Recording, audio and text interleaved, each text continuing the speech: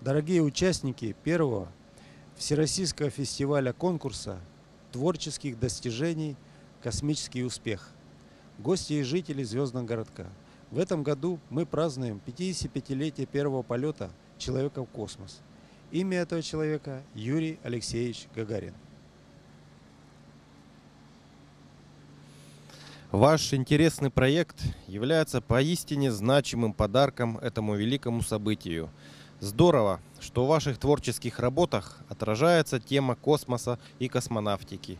Мы знаем, что среди вас есть представители разных уголков нашей необъятной России.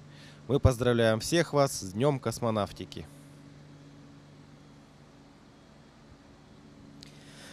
Пусть вам по жизни сопутствует космический успех – Пусть сцена Дома космонавтов станет для вас стартовой площадкой для новых талантливых свершений и побед. С праздником вас, дорогие друзья!